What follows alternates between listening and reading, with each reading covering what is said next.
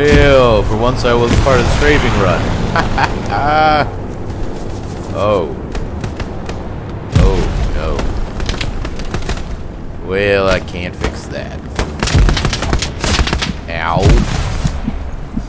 Apologize profusely.